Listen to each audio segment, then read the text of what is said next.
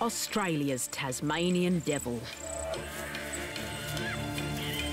Renowned for its dangerous demeanour and terrifying temper. This is the world's largest carnivorous marsupial.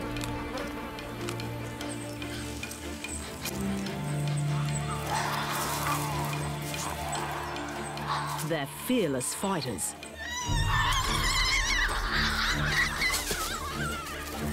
And frenetic feeders. Spending their lives screeching through the wild woods of Australia's island state. Tasmania. It's just one corner of this colossal, ancient continent.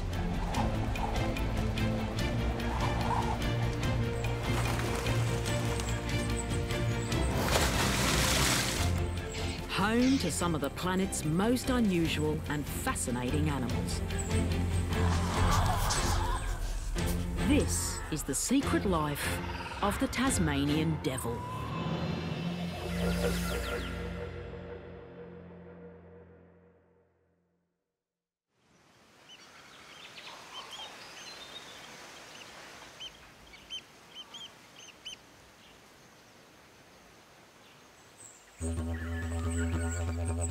When the first European settlers arrived in Australia, they found themselves surrounded by animal life that was utterly unfamiliar to them. They came up with their own names for these alien creatures. The koala was dubbed the monkey bear.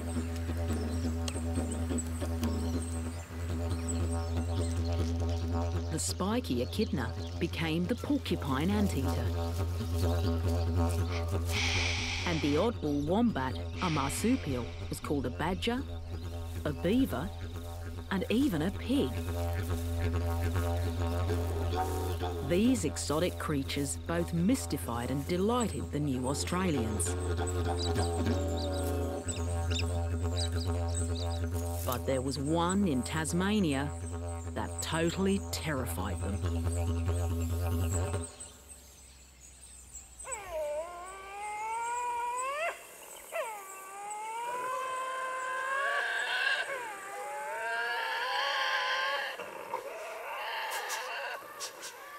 The settlers found the spine-chilling shrieks and unearthly wails that echoed round the bush at night so disturbing, they thought the animal that made them must be a kind of demon.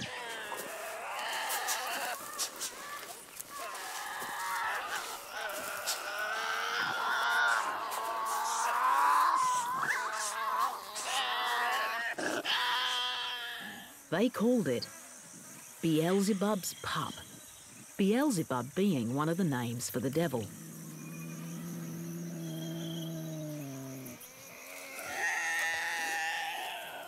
They're the size of a small dog, but so fearsome was the reputation of these animals, the early European settlers believed that if they fell from their horses in its territory, Beelzebub's pups would rip them limb from limb.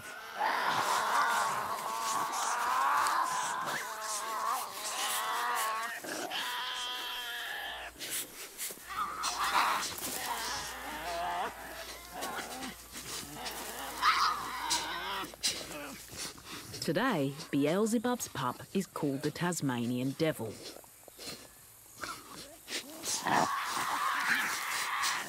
And although it's never actually dismembered a human, it's still famous for its extraordinary screeches,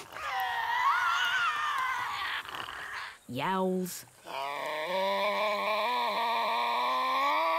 and ear-splitting cacophonies.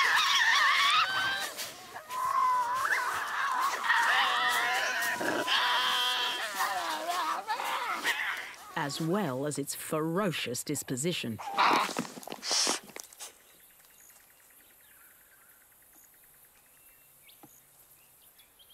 Devil fossils date back 70,000 years, suggesting the species is a relative newcomer.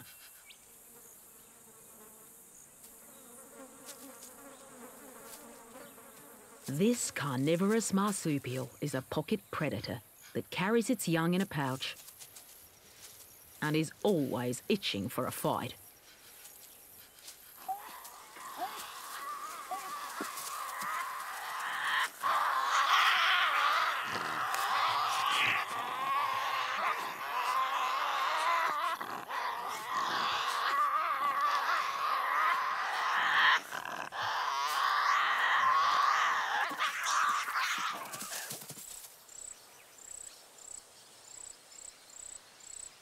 In the wild, they live solely on the island of Tasmania, off the southeast coast of the Australian mainland, full of their preferred habitat, open forests and woodlands.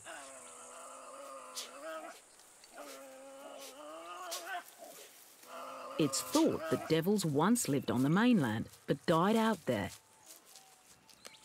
Perhaps because of competition with the dingo, a wild dog that arrived in Australia thousands of years ago and became an apex predator. But the dingo only made it to the mainland, which had already separated from Tasmania, so the island offered a safe haven for the surviving devils.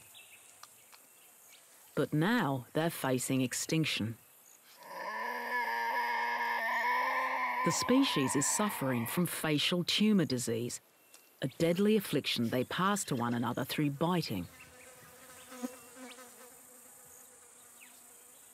It's estimated that since 1996, the population of Tasmanian devils has reduced by more than 80%, and they're now officially designated as endangered.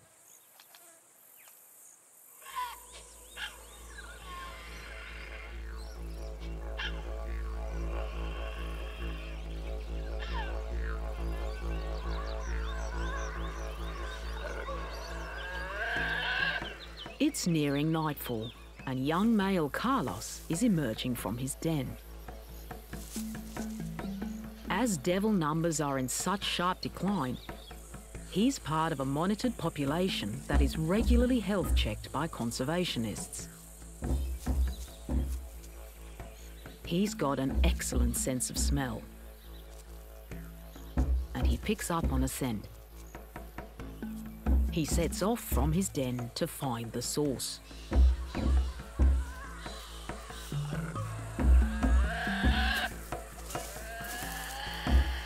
At two years old, he's now an adult. Lifespan in the wild is only around five or six years. He weighs over 8 kilos and may reach 12 kilos. All that weight is packed into a stocky body between half and three quarters of a metre long. He may be modest in size, but this is one of nature's most formidable predators.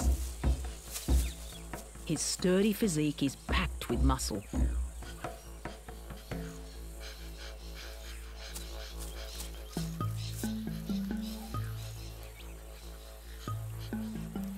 His legs are short and strong, while his large head and neck support one of the most proportionately powerful bites in the animal kingdom.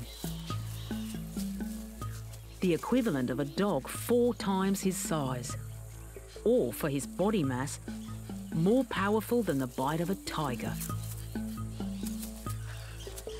The short, broad skull shape means the muscles in the jaw have increased leverage easily capable crushing the skulls of live prey and slicing clean through bones, fur and sinew.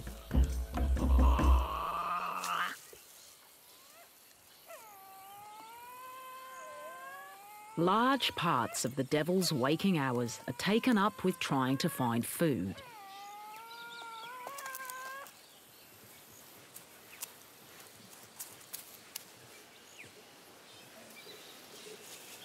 Mainly nocturnal, but happy to move around in the day, the devil's robust frame means it's able to travel long distances at a stretch, up to 16 kilometres at a time, looking for live animals to hunt or carrion to scavenge.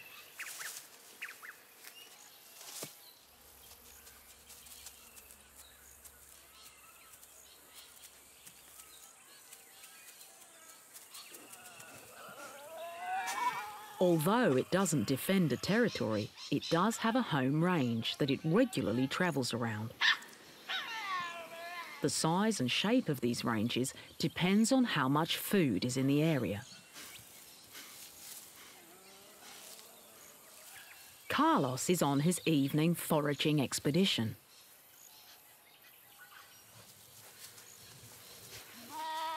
And it isn't long before he runs into another devil.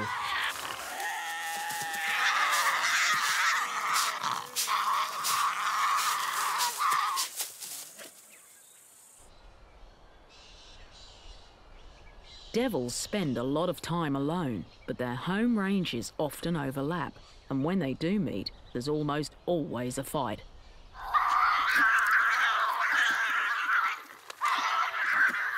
For the pugnacious, peppery devil, brawling comes as naturally as breathing.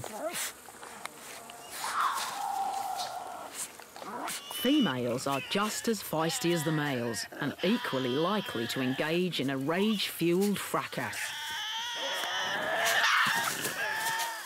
For the males, it's all about dominance. Gaining ascendancy over their rivals will pay off once breeding season arrives in March, as females often favour dominant males. But these power plays to decide top devil take place all year, and they can be about almost anything.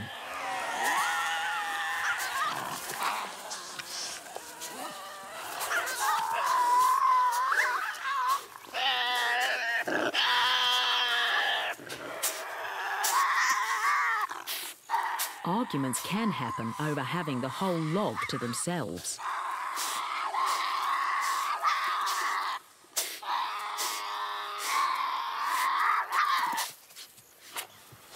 Or a blow-up could be over a tiny scrap of food. To a devil, it's all worth fighting over. Which is why a disease passed through biting has been particularly devastating to them.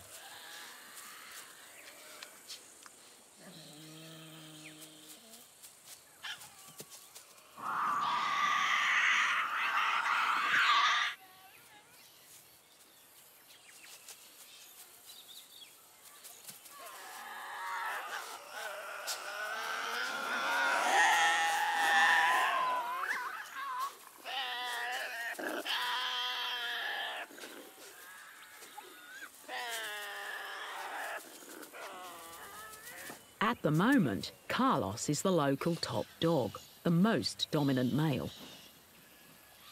He has to be even more aggressive than everyone else to keep his title.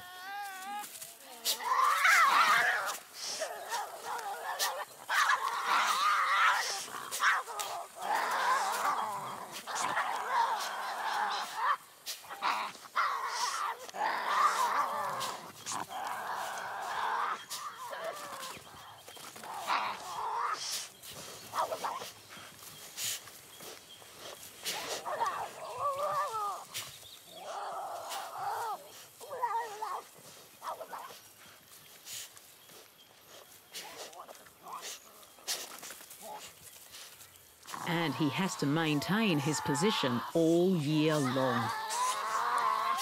Carlos has a pretender to his throne.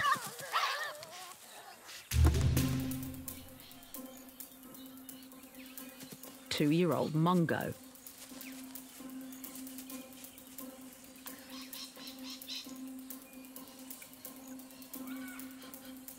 Every chance he gets, he challenges Carlos.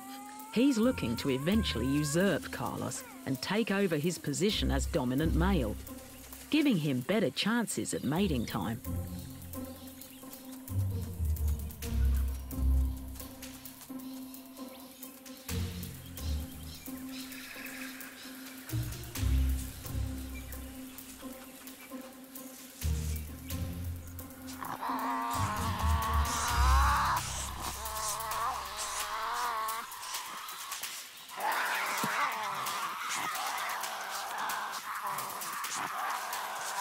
But so far, the battle-scarred Carlos has always chased off his challenger.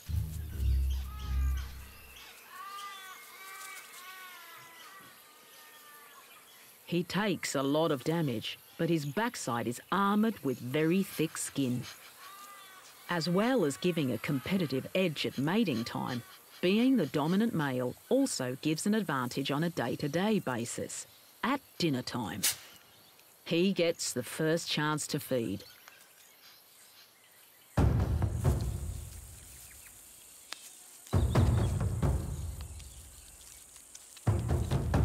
Tasmanian devils will eat almost anything insects, rabbits, rodents. They'll even actively hunt large live prey.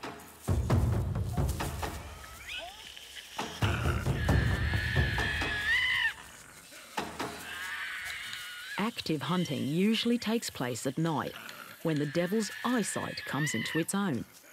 It can see best in black and white, and its vision is based on movement, enabling it to spot the tiniest twitch the prey makes. White markings scattered over its flanks, chest and legs may help break up its distinctive predator outline. Hunting alone, using a combination of ambush and pursuit, a devil can bring down animals almost twice its size, like wallabies and wombats. It's an efficient, deadly hunter. But its real forte is scavenging. Devils spend most of their time looking for carrion, the carcasses and remains of dead animals, it's not uncommon to encounter it in the bush. Although devils live mostly solitary lives, when they find a large meal like this, they're able to come together. Much like vultures and hyenas in Africa, by cleaning up carcasses, they keep the bush free from rotting meat that could spread disease. And they're a friend to the farmer, who would otherwise have to bury the bodies of dead livestock.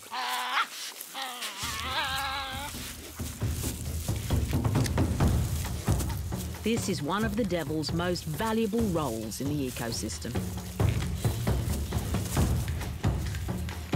Like many carnivores, they use the easiest and fastest route through the carcass.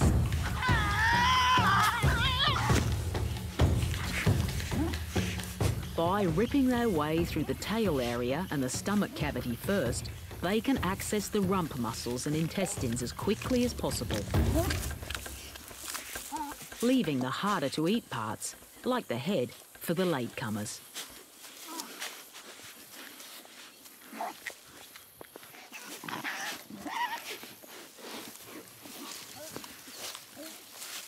The devil's dentition is adapted for both capturing live prey and crunching carrion.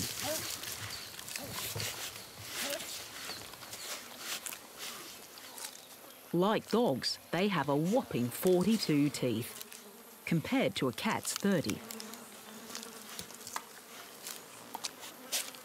Long, sharp canines hold and pierce prey, and molars shear through fur, sinew and skeleton.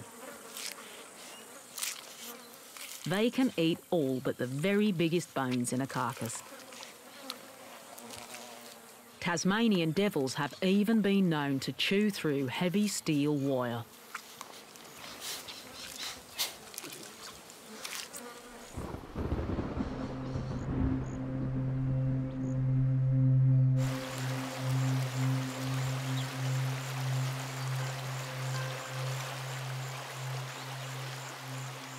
There are some large biological differences between marsupials like the Tasmanian devil and placental mammals like dingoes and bats. Marsupials have very short pregnancies and give birth to tiny unformed young, which then develop within a pouch. Most other mammals develop inside the mother, within a placental sac. Marsupials also have a metabolic rate around 30% lower than placental mammals. This means they can live using much less energy, a distinct advantage for when times get tough. But in times of plenty, the high octane lifestyle of the devil means it typically uses more energy than its vegetarian cousins. So it aims to consume about 15% of its body weight every day. For these committed carnivores, the search for food is relentless. The local males notice something nearby. Their sense of smell is so acute that they can detect food from around a kilometre away. They stand on their hind legs to give them the extra height they need to pick up on a scent carried on the wind. When on the hunt for large prey like wallabies or wombats, the devil uses a mixture of stalking and short sprints. It relies on stamina rather than outright speed, but can still manage around 25 to 35 kilometres per hour for a few hundred metres. But if they're lucky, it'll be an easy meal an animal carcass.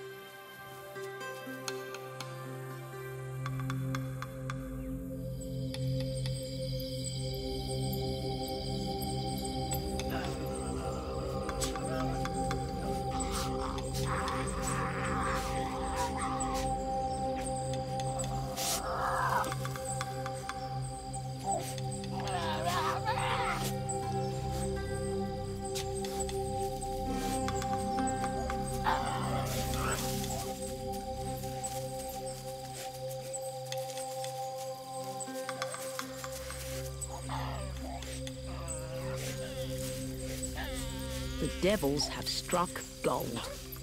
It's the remains of a wallaby.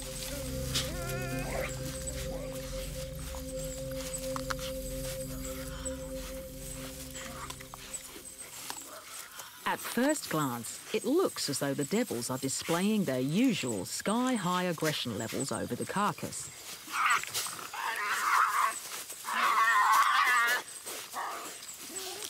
But although it seems like a free-for-all, in fact, there's some devil etiquette at work here. The attitude is still present, but the bloodshed is absent.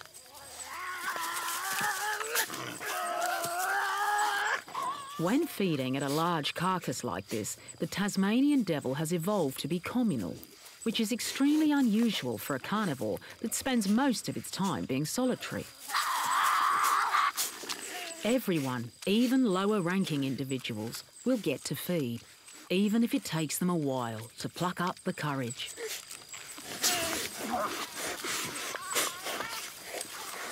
Communal feeding means all the local devils get a good meal at least once in a while, and that's evolutionarily advantageous for the whole species. But it means they have to make the switch from all out war to having some table manners. At a big feed, they avoid direct conflict by using ritualised posturings. Although they snap and scream at each other constantly, their teeth rarely actually connect. Their profuse whiskers extend to just beyond the width of their shoulders, so they can use them as sensors to judge the distance between them and another devil. They may jaw wrestle, where they stand up and place their paws on each other's shoulders or chests, and shake their heads constantly while vocalising.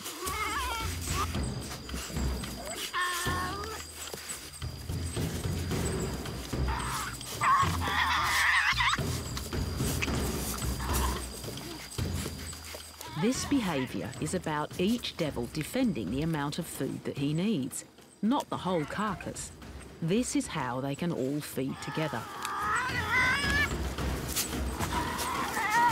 The size of the carcass affects the extent to which the feeding devil will chase off a challenger.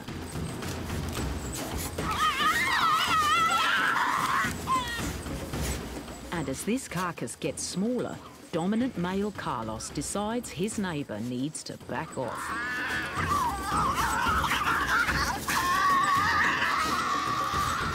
But even this exchange is without injury to either side.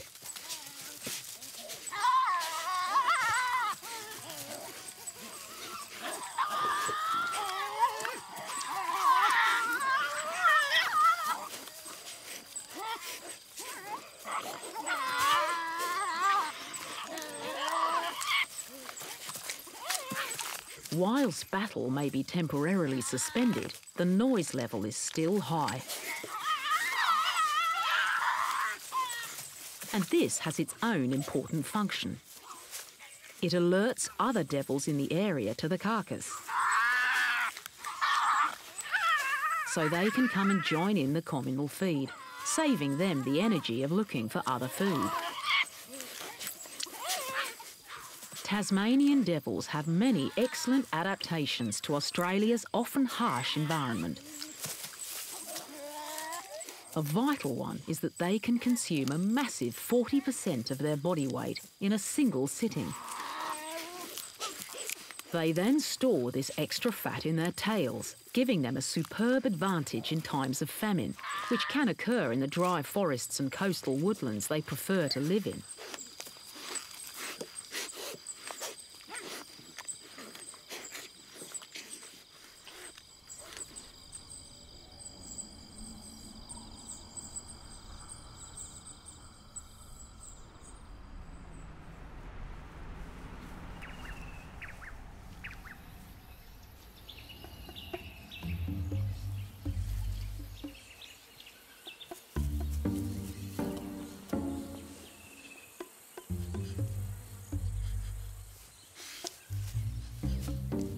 Unlike some of Australia's other marsupials, devils can also very effectively control their body temperature.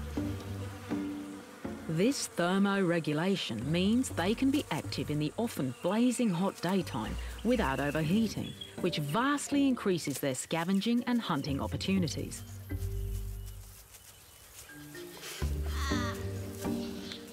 Another adaptation is that they can get most of their water requirements from their food. This can help them in case of drought.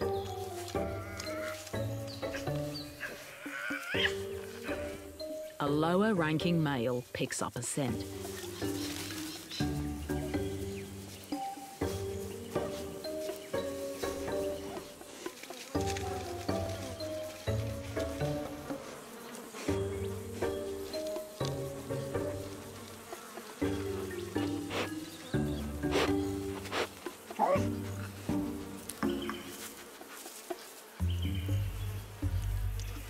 Eyesight is the weakest of his senses in the daytime, but it's good enough in combination with his sense of smell for him to find food when it's light.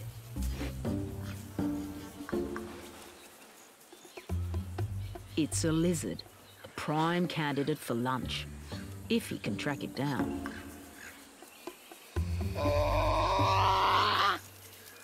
The lizard takes cover under a rock.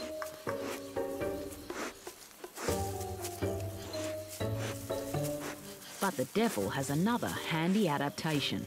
Wide feet with claws ideal for digging.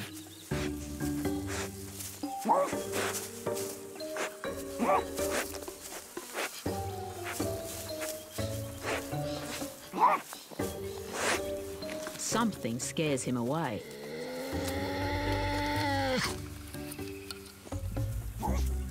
But he soon comes back.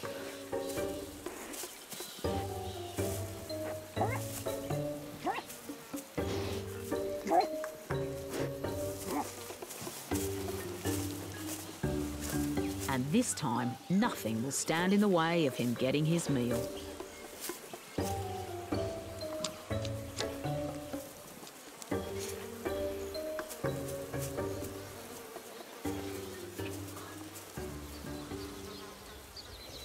The next animal to wander into devil territory is much more prickly. It's an echidna, an animal only found in Australia and neighbouring New Guinea. And it's utterly bizarre. It's from an early branch of mammals that still lays eggs like a reptile, and the males have a four-headed penis. Like the equally rare platypus, it's categorised as a monotreme, an animal that just has a single opening for excretion and reproduction.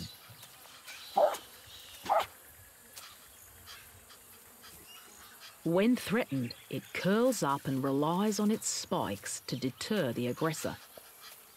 The spikes are actually modified hairs, and they're a sharp and effective deterrent against even the super teeth of the devil. The echidna can move them individually or in small groups. This means it can use them to right itself if it gets upended.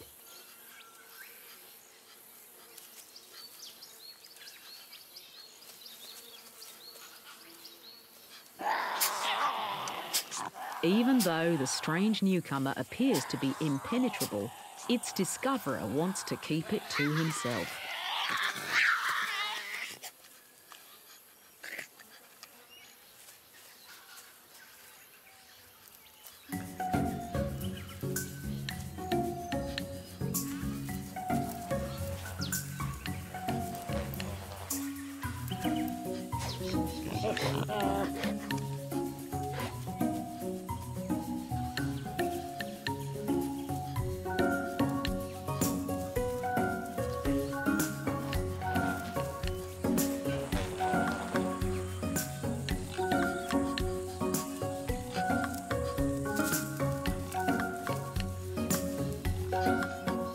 But eventually they both have to give it up as a mission impossible.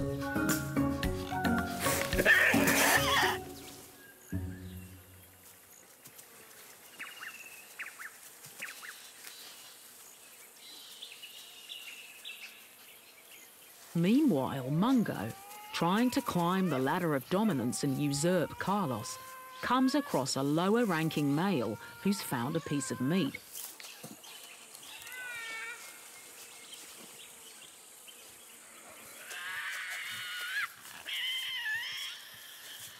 But before Mungo can get involved, top devil Carlos turns up.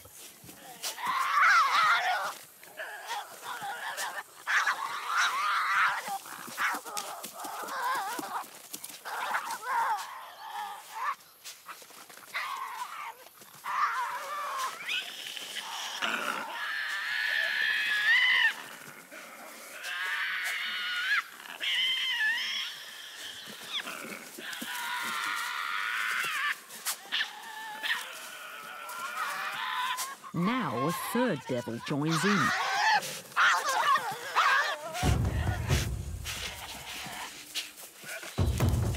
Finally, Mungo gets in on the action.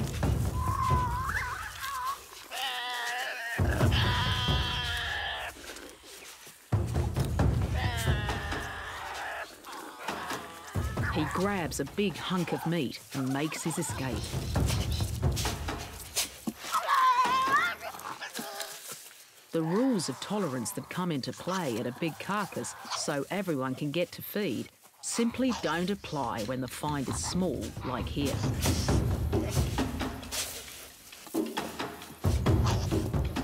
It's every devil for himself.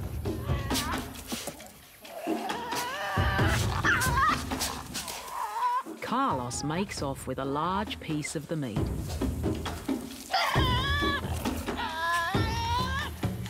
And the other two fight over the scraps.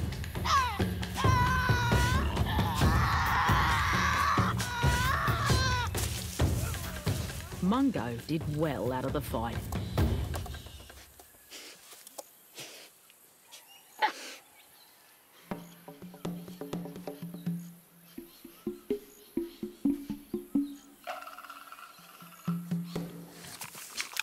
They're mostly solitary, it's the presence of food that usually leads to many forms of devil communication. Vocalizations are the most obvious.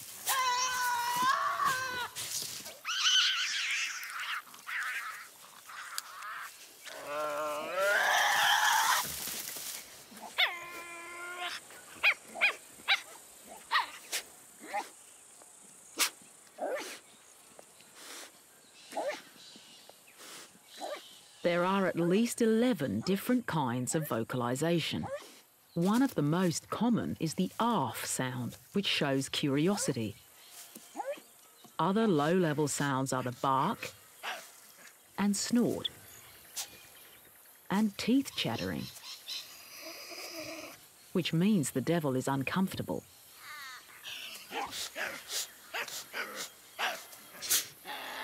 As the situation escalates, growling begins. Then full-scale screeching.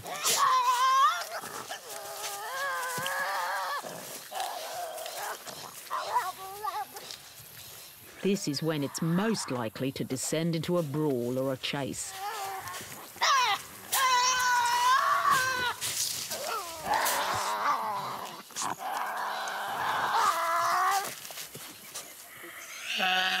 One of its most frequent communications is yawning. Its jaws can open to an astonishing 75 to 80 degrees wide. Humans can only manage around 33 degrees. A wide gape like this is common in carnivorous marsupials. The tiger quoll, a dedicated meat eater, also opens its mouth extremely wide. Even as a baby, Yawning is a displacement activity that says, I've got a fine set of teeth here, but at the moment I'm not interested in a fight. It also helps relieve built-up pressure in their oversized jaws.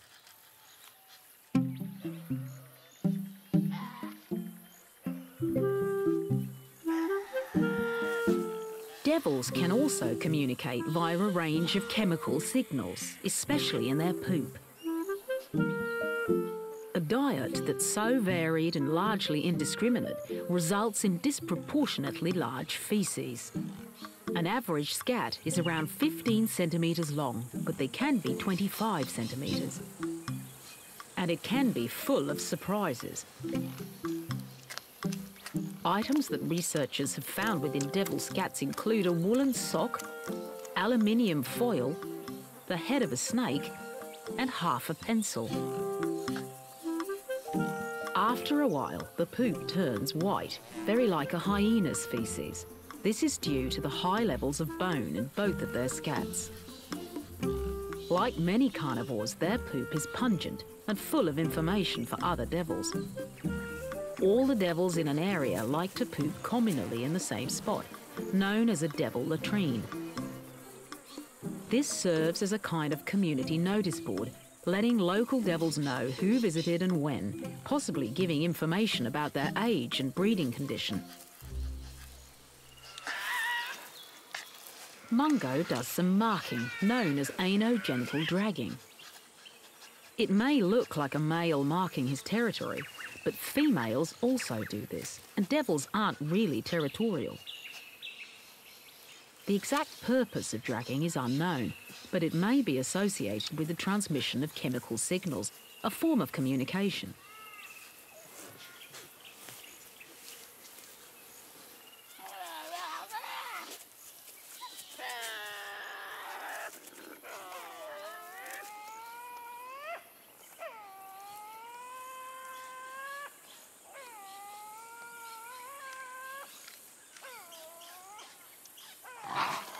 Positions, erect fur and head elevations are other non-vocal means of communication.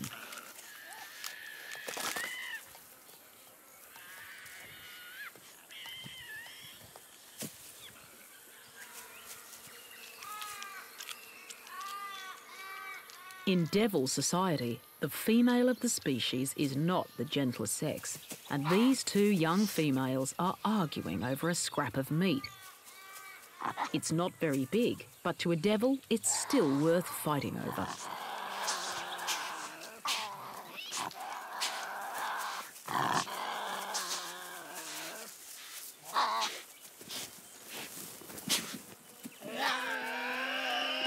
The girl's stiff legs and high head positions, as well as gaping jaws, signal loud and clear, back off.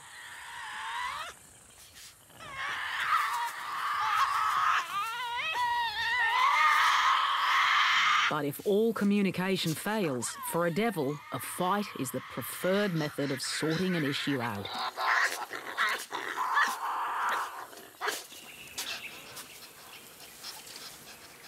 Although he has to be subordinate to top dog Carlos, Mungo is able to dominate many of the other local devils.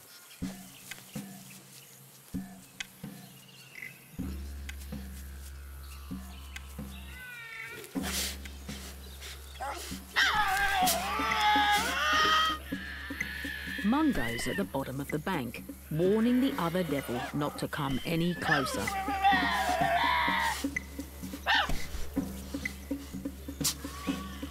His vocalizations intensify.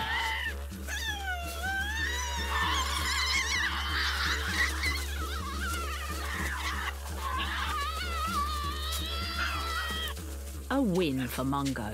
He's chased off the interloper.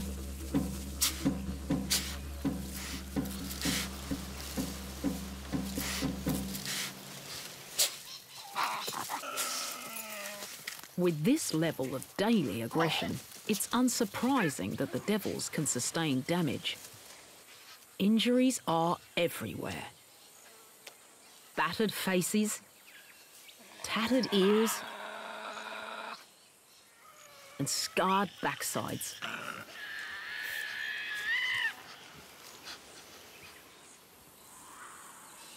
This low-ranking male has lost the whole of his upper lip and part of his nose. He tries to avoid other males and get some rest during the daytime. But Mungo is on the prowl.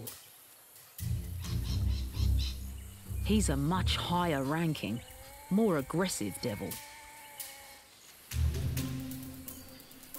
The disfigured devil has to give way. But Mungo hasn't finished making his point. He follows and pins down the other male, forcing him into a confrontation.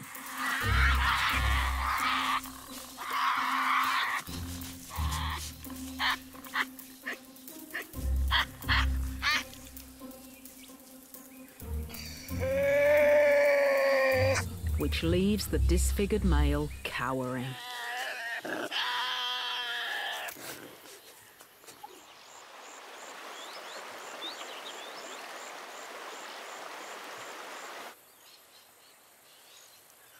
After a hard day or night of inflicting or receiving grievous bodily harm, the devil typically retires to its den. It may regularly use three or four dens, and once established, it tends to use the same ones for life.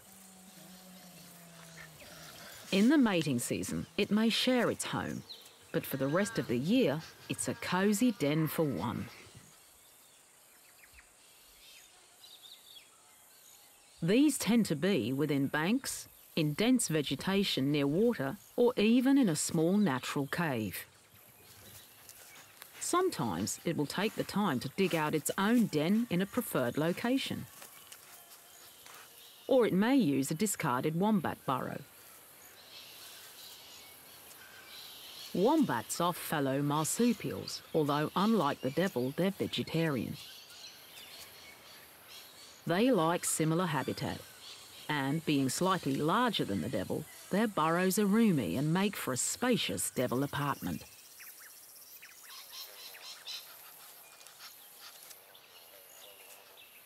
Mungo leaves his den to start exploring his patch for food.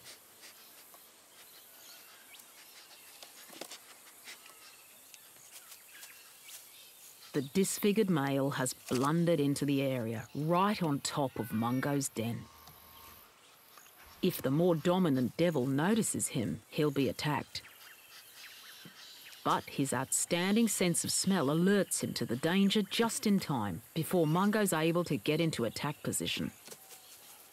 This time, he gets away safely.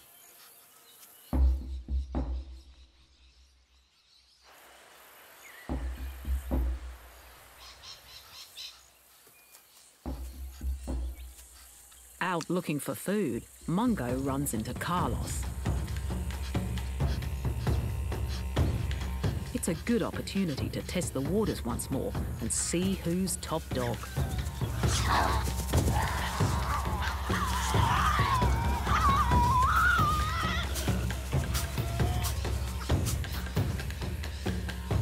Carlos once again emerges triumphant, retaining the rights to first claim of a carcass and preferential treatment from the females come breeding season.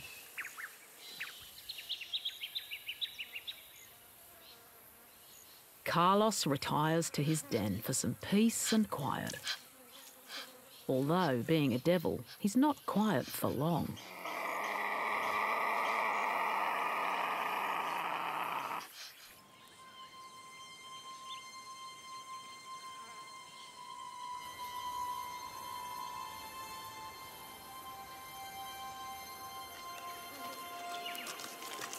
Tasmania is a paradise for animal life, but the devils don't get everything their way. The devil's love of carrion is often their downfall. As they try to feed on an easy source of carrion, roadkill, they frequently become it themselves.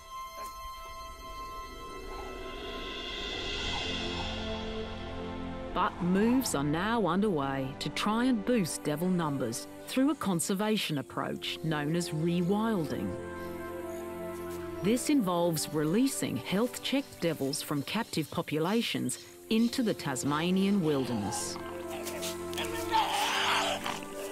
These astonishing carnivores have short but action packed lives.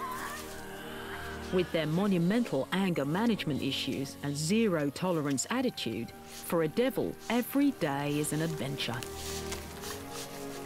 Despite treating their fellow devils with extreme prejudice most of the time, they're able to share a meal for the benefit of all. Full of character, their deafening volume,